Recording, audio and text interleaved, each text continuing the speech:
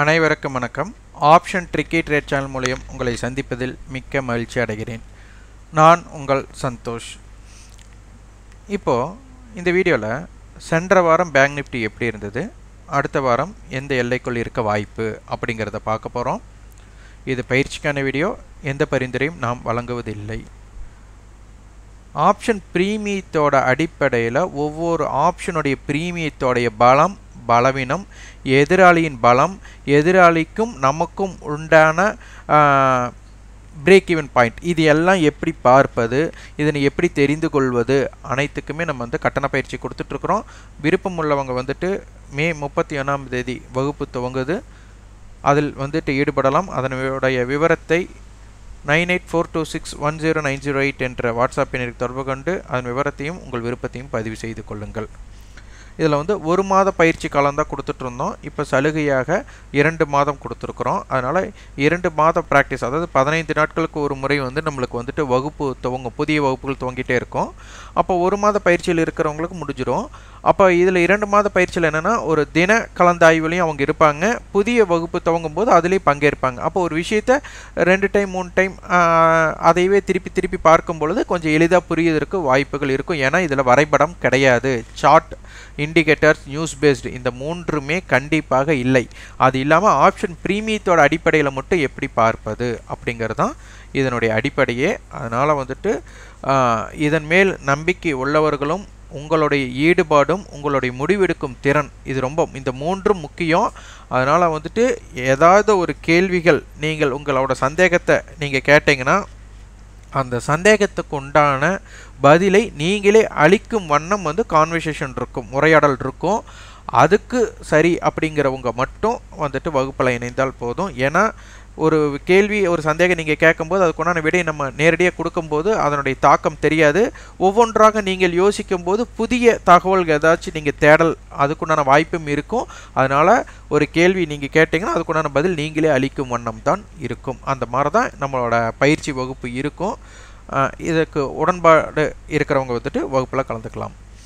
இப்போ இது பார்த்துட்டிங்கன்னா நம்ம ஓப்பன் அப்படிங்கிறது ரொம்ப முக்கியம் அப்படின்னு நம்ம சொன்னோம். அந்த ஓப்பன் ஏன் முக்கியம் அப்படிங்கிறது தான் இங்கே இதே. அப்போ இதுதான் ஓப்பன் ஆயாச்சு. அப்போ இதிலிருந்து தான் ரேஞ்ச் ஸ்டார்ட் ஆக போகுதுன்னு ஆச்சு அப்போது ஒரு லோவுக்கும் ஹையுக்கும் உண்டான வித்தியாசம் நம்மளுக்கு ரேஞ்சுன்னு தெரியும். அந்த ரேஞ்ச் ஓப்பன் ஆனதுக்கப்புறம் தான். இப்போ சந்தை ஆரம்பமாகாமல் ஒரு புதிய ரேஞ்ச் கிரியேட் ஆகுமானா கிடையவே கிடையாது. அது டிமாண்ட் தேவை சப்ளை அளிப்பு இந்த இரண்டுக்கும் உண்டான போட்டி தான் சந்தையே. அப்போ இது எப்படி நிகழ்கிறது அப்படிங்கிறது தான் ரொம்ப ரொம்ப முக்கியம். ஒரு விஷயம் நீங்கள் நினச்சி பாருங்கள் ஒரு எதிர் ஒரு டார்கெட் ஒரு முடிவை தீர்மானித்து அதனை பார்த்து நீங்கள் பயணம் பண்ணிகிட்ருக்கீங்க அந்த பயணத்தை உடனே அது நிறைவேறி நிறைவேறினால் உங்களோட மனதோட மகிழ்வு எப்படி இருக்கும்னு நினச்சி பாருங்கள் அதுவே நீங்கள் ஒரு இலக்கு நிர்ணயிக்கிறீங்க அந்த இலக்கை உங்களால் அடைய முடியல. அப்போ எப்படி இருக்கும் உங்கள் மனநிலை? இதற்குண்டான வித்தியாசம்தான் ஆப்ஷன் ப்ரீமியத்தோட டைம் டீக்கேன்னு சொல்லுவாங்க. அப்போ உங்களோட இலக்கை எளிதாக நீங்கள் அதை அடையும் போது அதனுடைய சந்தோஷம் மகிழ்ச்சி அதிகமாக இருக்கும். அப்போது அந்த ப்ரீமியத்தோட மல்டிபிள் சொல்லுவாங்க மடங்குகள். அது வந்துட்டு விரைவாக நடைபெறும். அப்போ அந்த இலக்கை நீங்கள் அடைவதற்கு காலதாமதம் ஆகுதுன்னா அப்போது அங்கே வந்து டைம் டிகே அந்த ப்ரீமியம் கரைவு ஏற்படும் அப்படிங்கிறத இங்கே தெரிஞ்சுக்கணும். இப்போ பார்த்தீங்கன்னா சந்தை கடந்த வெள்ளிக்கிழமை அன்று அதற்கு முந்தைய நாள் முப்பத்தி மூவாயிரத்தி முந்நூற்றி பதினஞ்சில் க்ளோஸு ஓப்பன் வந்து முப்பத்தி மூவாயிரத்தி எழுநூற்றி அறுபத்தி அஞ்சு. அப்போ கிட்டத்தட்ட நானூறு புள்ளிகள் பாசிட்டிவ் இல்லை ஓப்பன் ஆகுது. நல்லா நினச்சிக்கோங்க. இந்த ஓப்பனான புள்ளிகள் இருந்து தான் ஒரு தினத்தோட பயணம் ஐநூறு டு எழுநூறு புள்ளிகள் அதனை தாழ்ந்தால் ஆயிரம் புள்ளிகள் சர்வசாதாரணமாக போகும். அப்போ ஐநூறு புள்ளிகள் அப்படின்னு நம்ம எடுத்துக்கிட்டாலே இந்த ஓப்பனில் இருந்து ஓப்பனில் இருந்து இதுக்கு கீழேயே வரல அப்படின்னு நம்ம ஒன்று எடுத்துக்கிட்டோம் கீழே வராதுன்னு எப்படி தீர்மானிக்கிறது அப்படின்னு கூட சில பேர் வந்துட்டு கேள்விகள் தொடுக்கலாம். அதுதான் லோனு நம்ம எடுத்துக்கிட்டோம் அப்போ அதுக்கு கீழே போகாத வர அதுதான் லோ அதுதானே குறைந்தபட்ச விலை. அப்போ அதற்கு மேலே தானே ரேஞ்ச் இருக்க போகுது. அப்போ இந்த ஓப்பன்லேருந்து நானூறு புள்ளிகளை ஆட் பண்ணி ஐநூறு புள்ளிகளை ஆட் பண்ணிக்கிட்டாலே அதுதான் ஒரு உச்சமாக இருக்கக்கு வாய்ப்பு. அப்போ முப்பத்தி மூவாயிரத்தி எழுநூற்றி அறுபத்தஞ்சிலிருந்து ஐநூறு புள்ளிகளை நம்ம கூட்டினோம்னா முப்பத்தி நாலாயிரத்தி இரநூத்தி அறுபத்தி அஞ்சு அப்படிங்கிறது நம்மளுக்கு புலப்படுது. அப்போ இங்கே ஓப்பனிலிருந்து நூறு புள்ளிகள் கீழே வந்திருக்கு. அப்போ என்ன ஆகுது? அப்போ இதுக்கப்புறம் நானூறு புள்ளிகள் மேலே. அப்போ முப்பத்தி நாலாயிரத்தி நூற்றி அறுபத்தஞ்சு அப்படிங்கிறது நம்ம எதிர்பார்க்கக்கூடிய ரேஞ்சாக அமையலாம். இது ஒன்று.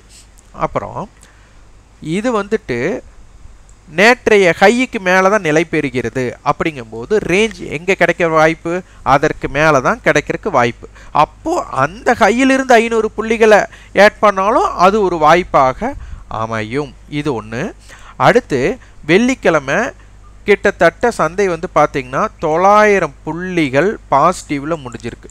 இந்த பாசிட்டிவில் முடிஞ்சால் அடுத்த நாள் என்னென்ன வாய்ப்புகள் ஏற்படலாம்? ஒன்று தொண்ணூறு புள்ளிகள் தொள்ளாயிரம் புள்ளிகள் அதிகமாக முடிஞ்சாச்சு. அப்போது ஃபஸ்ட்டு எல்லாத்தோட எதிர்பார்ப்பு கேப் அப் பெரிய கேப் அப் இருக்கலாம் அப்படிங்கிறது தோணலை ஏன்னா தொள்ளாயிரம் புள்ளிகள் ஏறி முடிஞ்சதுனால. இரண்டாவது விஷயம் அந்த ஓப்பன் பெரிய கேப் அப்பாக நடைபெறலை அப்படின்னா அப்போ அது வந்து ஃப்ளாட் ஓப்பனிங்காக இருக்கக்கூடிய வாய்ப்பு அமையலாம். அப்போது கேப் அப் ஓப்பன் அப்படிங்கும்போது மேலே இருக்கிற ஓடிஎம் கால் ஆப்ஷன் அனைத்துமே நல்ல மல்டிப்பிளில் இருக்கக்கூடிய வாய்ப்பு இருக்கும். அப்போது அதிகமான மல்டிப்பிள் இருக்கும்போது ரெண்டு விஷயங்கள் நடைபெறலாம். ஒன்று ப்ராஃபிட் புக்கிங் ஏற்படலாம். அல்லது கீழே ஷார்ட் அடித்தவங்க பேனிக் பையிங் ஏற்படலாம். இந்த ரெண்டுக்கு வாய்ப்பு. அப்போ அந்த சூழ்நிலையில் என்னென்ன ஏற்பட வாய்ப்பு இருக்குன்னு அந்த சூழ்நிலையில் பார்க்கணும். அடுத்து ஃப்ளாட் ஓப்பனிங் நடைபெற்றுட்டாலே நம்மளோட எதிர்பார்ப்பு இல்லை. நிறைய நாளைக்கு நிறைய கேப் அப் ஆகும் நினைக்கிறாங்க. அது நடைபெறல. அவங்க நினச்சதே நடைபெறல. அப்போ என்னாகும்? ஓடிஎம் ஆப்ஷன்ஸோட ப்ரீமியம் காலாக இருந்தாலும் சரி புட்டாக இருந்தாலும் சரி பயங்கரமாக கரைய ஆரம்பிச்சிடும் டிகே அதிகமாக இருக்கும். மூன்றாவது கேப் டவுன் ஆகுது. அப்போ அந்த கேப் டவுன் ஆகும்போது முந்தைய நாள் அதிகமாக ஏற்றம் கண்டு இருக்கு அப்போ அதில் கேப் டவுன் ஆகும்போது ஓப்பன் புள்ளி வந்து கீழே அமையறக்கு வாய்ப்பு இருக்கும். அப்போ அந்த ஓப்பன் புள்ளிகளுக்கு மேல் நிலை பெற்றால் முந்தைய தினத்தோட ஹை வரை அல்லது முந்தைய தினத்தோட க்ளோஸ் வரையாச்சு பயணம் பண்ணுறதுக்கு வாய்ப்பு இருக்கலாம். அந்த ஓப்பன் புள்ளிகளுக்கு மேலே நிற்க முடியலன்னா திருப்பி அந்த முந்தைய தினத்தோட லோ மட்டும் கீழே செல்லலாம். இதுதான் வாய்ப்புகள். அப்போது இந்த இடமும் டேஞ்சர் தான். மார்க்கெட் வந்து கீழே ஓப்பன் ஆகும்போது அந்த ஏறி முடிஞ்சிருக்கு. அப்போ கீழே ஓப்பன் ஆகும்போது புட் ஆப்ஷன்ஸோட ப்ரீமியம் நேற்றே கரைஞ்சிருக்கும். அவங்களுக்கு ஒரு வாய்ப்பு தர பார்ப்பாங்க. அப்போ புட் ஆப்ஷன்ஸோட ப்ரீமியத்தோட பலத்தை விட கால் ஆப்ஷனுடைய பலம் ஜாஸ்தியாக இருந்ததுன்னா மார்க்கெட் ரெக்கவர் ஆக வாய்ப்பு இருக்கலாம். ஆனால் புட் ஆப்ஷன்ஸ் வந்துட்டு அவங்களோட பலத்தை விட கால் ஆப்ஷன்ஸோட ப்ரீமியம் அதை விட ரொம்ப பலவீனமாக இருந்ததுன்னா அந்த இடத்துல சந்தை நல்லா இறங்குறக்கு வாய்ப்பாக அமையலாம். அல்லது ரெண்டு பேர்த்தோட மீட்டிங் பாயிண்ட்டுன்னு ஒன்று சொல்லுவோம். அந்த மீட்டிங் பாயிண்ட்டோட அளவுக்கு கீழே ரெண்டு பேருமே இருந்துட்டா ரெண்டு பேர்த்தோட ப்ரீமியம் கரையிறக்கு வாய்ப்பாக இருக்கலாம்.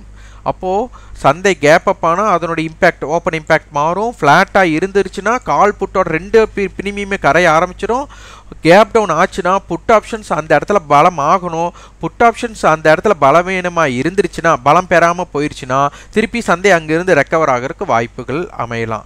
அப்போ புட் ஆப்ஷன்ஸ் அந்த இடத்துல பலம் பெற்று அந்த இடத்துல நிற்குது அப்படின்னா அப்போ ஓப்பனுக்கு மே கீழேயே சந்தை நிற்குது அப்படின்னா புட் ஆப்ஷன்ஸோட பலம் ஜாஸ்தியாகி மார்க்கெட்டோட ஒரு தினத்தோட ரேஞ்சை அடையிறக்கு வாய்ப்புகளாக அமையலாம். இதுதான் இந்த மூன்று வாய்ப்பு தான் நடையிறக்கு வாய்ப்பு இருக்குது அது ஓப்பன் பேஸ் பண்ணி தான் அப்போது நாளை தினம் இதுதான் நடக்கும் நம்ம தேர்ந்தெடுக்கிறத விட நாளை தினம் ஆரம்பமானதுக்கப்புறம் என்ன நடக்குதோ அதனை ஆப்ஷன் வியாபாரத்தை செய்கிறவங்களுக்கு பயன்படுத்தும் போது என்ன ஆகும்னா உங்களுக்கு ஏதாச்சும் இப்போ நீங்கள் நாளைக்கு நல்ல கேப் அப் ஆகும்னு நினச்சிட்டு இருக்கிறீங்க. நீங்கள் எடுத்து வச்சிட்டீங்க. நாளைக்கு கேப் டவுன் ஆகுதுன்னா என்ன ஆகும்னா நீங்கள் எடுத்த ஆப்ஷனோட ப்ரீமியம் ஓடிஎமாக மாறிடும். அதிகமான ஓடிஎமாக மாறிடும். திருப்பி சந்தையே ரெக்கவர் ஆனாலும் உங்களோட ப்ரீமியத்துக்கு உண்டான டெல்டா வேல்யூ குறைந்து விடும் அப்போது எப்படி வியாபாரம் செய்வது? அப்போது மார்க்கெட் கேப் டவுன் ஆகும்போது அந்த இடத்துல இருக்கிற மார்க்கெட் ரெக்கவர் ஆகக்கூடிய சூழ்நிலை இருந்தால் அங்கே நியர்பை இருக்கிற ஐடிஎம் கால் எடுத்தால் மட்டும்தான் உங்களால் லாபம் பார்க்க முடியும் ப்ராஃபிட் பார்க்க முடியும். இதனை புரிந்து கொண்டால் அப்போ என்ன ஆகும் நீங்கள் இன்னைக்கு மார்க்கெட்டை வந்துட்டு இந்த இடத்துல முப்பத்தி நாலு முந்நூறு காலை எடுக்கிறீங்க. நாளைக்கு ஒரு முந்நூறு புள்ளிகள் கேப் டவுன் அப்படிங்கும்போது முப்பத்தி நாலு முந்நூறு காலே ஓடிஎம் காலாக மாறிவிடும். அப்போ முப்பத்தி நாலாயிரம் கால் தான் இந்த மணிக்காலாக இருக்கும். அப்போ சந்தை ஏறுமுகமாச்சுன்னா முப்பத்தி நாலு முந்நூறு கால் ஏறுறதை விட முப்பத்தி நாலாயிரம் கால் ஏறுவது தான் சற்று அதிகமாக இருக்கும். அப்போ முப் ஓடிஎம் காலை தேர்ந்தெடுக்கும் போது நம்ம என்ன என்ன ஆகுது அடுத்த நாள் கேப் டவுன் ஆகும்போது பெரிய ஓட்டியமாக மாறிடும். அப்போது உங்களுக்கு வாய்ப்புகள் குறைந்துவிடும். இதை ஃபஸ்ட்டு நம்ம உணரணும். அதுக்கு தான் ஓப்பன் அப்படிங்கிறது ரொம்ப முக்கியம். இப்போ பார்த்தீங்கன்னா திங்கக்கிழமை ஓப்பன் முப்பத்தி மூவாயிரத்தி இரநூத்தம்பத்தாறு லோ பார்த்தீங்கன்னா முப்பத்தி மூவாயிரம் தான். அப்போ மு மார்க்கெட் ஓப்பனுக்கு கீழே இரநூத்தம்பத்தஞ்சு புள்ளிகள். அப்போ அதனை விட ஆயிரத்தி முந்நூறு புள்ளிகள் ஆயிரத்தி நானூறு புள்ளிகள் அதிகமாக இருந்திருக்கு. அப்போ இந்த லோவை பிரேக் பண்ணுற வரை இதுதான் அப்படின்னு தெரிஞ்சிடும் அப்போ இந்த எல்லைக்கு மேற்பட்டு அதிகமாக இருக்குது அப்போ இரநூத்தம்பத்தஞ்சு புள்ளிகள். அப்போ முப்பத்தி மூவாயிரத்தி ஐநூறுக்கு மேலே சந்தை நிலை பெற்றாலே இதனுடைய இந்த இரநூத்தம்பத்தஞ்சு பாயிண்ட்டுக்கு மதிப்பு கொடுக்குதுன்னு அர்த்தம். அடுத்து முப்பத்தி நாலாயிரம் புட் அண்டு கால் நம்மளுக்கு பேர் ஹெஜிங்காக கொடுத்துட்டாங்க. அதில் இப்போ நம்மளுக்கு இந்த ப்ரீமியம் ஒரு ப்ரீமியத்தை தேர்ந்தெடுக்க காரணிகளில் ஒன்று ஸ்பாட்டுக்கும் ஃப்யூச்சருக்கும் உள்ள வித்தியாசம். அது ஒரு காரணியாக அமையும். இந்த இடத்துல ஸ்பாட்டை விட முப்பத்தி நாலாயிரத்தி இரநூத்தி எழுபத்தாறு ஸ்பாட்டு ஃப்யூச்சர் முப்பத்தி நாலாயிரத்தி முந்நூற்றி அஞ்சு ஒரு முப்பது புள்ளிகள் தான் ப்ரீமியத்தில் இருக்குது இதனுடைய தாக்கம் கால் ஆப்ஷனுடைய டைம் வேல்யூவில் இருக்கும். அதனுடைய டைம் வேல்யூவில் இருக்கும். அதே சமயம் இந்த ஐவி இம்ப்ளைடு வாலிட்டி மிகைப்படுத்தின மதிப்பு இம்ப்ளைடு வாலட்டிலிட்டி அப்படிங்கிறது மிகைப்படுத்தின மதிப்பு. இங்கே என்னென்னா ஒரு பொருள் அடிப்படை விலை பத்து ரூபாய் அப்படின்னு இருக்கும்போது அது வந்து பத்து ரூபாய்க்கு உண்டான மதிப்பு இங்கே இருக்கும். இதே அதனுடைய தேவை அதிகரிக்கும் போது அதனுடைய அடிப்படை விலை இருபது ரூபாய்ன்னு சொல்கிறாங்க அப்போ இங்கே என்ன இருக்கும்? பத்து ரூபா பொருள் இருபது ரூபாய்க்கு தான் வாங்கணும். அப்போது இந்த இடத்துல என்ன தேர்ந்தெடுக்க போகிறாங்க அப்படிங்கிறத. அப்போ பத்து ரூபா பொருளுக்கு இருபது ரூபாய்க்கு உண்டான அடிப்படை விலை கொடுக்கும்போது அதனுடைய டிமாண்ட் அதிகமாக இருக்குது அப்படிங்கிறது ஒன்று ஒரு விஷயம் அப்படி யோசிக்கலாம். ரெண்டாவது விஷயம் பத்து ரூபா பொருள் இருபது ரூபாய் கிடைக்கும்போது பத்து ரூபா பொருளுக்கே செல்லிங் அடிக்க ரெடியாக இருந்தவங்க ரைட்டிங் பண்ண ரெடியாக இருந்தவங்களுக்கு இருபது ரூபாய்ங்கிறது ஜாக்பாட்டு அப்போ ரெண்டு விஷயமே ஏற்படலாம். ஒன்று செல்லர் பாயிண்ட் ஆஃப் வியூவில் யோசிக்கும் போது அது எப்படி இருக்குது பையர் பாயிண்ட் ஆஃப் வியூவில் பார்க்கும்போது எப்படி இருக்குது அப்படிங்கிறத பார்த்துட்டு இதில் யாரோட வாய்ப்பு அதிகமாக இருக்கோ அவங்க சைடு ட்ரேட் பண்ணுறதுக்கு இருக்கணும். அப்போ இதை பற்றி வித்தியாசங்கள் உங்களுக்கு தெரிய வேண்டும். இப்போது அளவு. ஆப்ஷன் பிரீமித் அப்போ முப்பத்தி நாலாயிரத்தி முந்நூறு கால் அண்டு புட்டோட ஸ்டர்டல் அடிப்படையில் இதை இது பண்ணியிருக்கிறோம். அதனால் குறுகிய எல்லை அப்படிங்கிறது முப்பத்தி மூவாயிரத்தி எட்நூற்றி அறுபத்தஞ்சிலிருந்து முப்பத்தி நாலு எழுநூற்றம்பது இதுக்குள்ளே மார்க்கெட் இருந்தால் வாலட்டையில் தான் இருக்கிறதுக்கு வாய்ப்புகள் அதிகமாக இருக்கும். வைட் ரேஞ்ச் அப்படிங்கிறது இதை கட் பண்ணும்போது இந்த எல்லைகளை கட் பண்ணும்போது தான் ஒன் சைடு மார்க்கெட் வரக்கு வாய்ப்பு இருக்குது இல்லை ப்ராஃபிட் புக்கிங் வரக்குண்டான வாய்ப்பு இருக்கும் அந்த எல்லை முப்பத்தி மூவாயிரத்தி நானூற்றி பதினஞ்சிலிருந்து முப்பத்தஞ்சாயிரத்தி நூற்றி எண்பத்தி அஞ்சு. ரெசிஸ்டன்ஸ் பார்த்தீங்கன்னா முப்பத்தி நாலாயிரத்தி நானூற்றி எண்பத்தெட்டு முப்பத்தி நாலு அறநூற்றி முப்பத்தொன்று முப்பத்தி நாலாயிரத்தி எட்நூற்றி நாற்பத்தாறு சப்போர்ட் லெவல் முப்பத்தி மூணு தொள்ளாயிரத்தி ஐம்பத்தஞ்சு முப்பத்தி மூணு அறநூற்றி முப்ப எண்பத்தி ரெண்டு முப்பத்தி மூவாயிரத்தி முந்நூற்றி இருபது. இவ்வாறு தான் நம்ம ஓப்பன் இம்பேக்டை பேஸ் பண்ணியும் ஆப்ஷன் ப்ரீமியத்தை பேஸ் பண்ணியும் நம்ம எந்த மாதிரி பலம் பலவீனம் இருக்கிறத பார்க்கணும். இதற்குண்டான கட்டண பயிற்சி நம்ம கொடுத்துட்ருக்குறோம். விருப்பம் உள்ளவங்க வந்துட்டு nine eight four two six one zero nine zero eight என்ற எண்ணிற்கு தொடர்பு கொண்டு அணுகுங்கள். இந்த வீடியோ உங்களுக்கு பயனுள்ளதாக இருந்ததுன்னா லைக் பண்ணுங்கள் ஷேர் பண்ணுங்கள் சப்ஸ்கிரைப் பண்ணுங்கள் கண்டிப்பாக உங்களோட ஃபீட்பேக்கை கமெண்ட் பாக்ஸில் பதிவு பண்ணுங்கள் நன்றி வணக்கம்.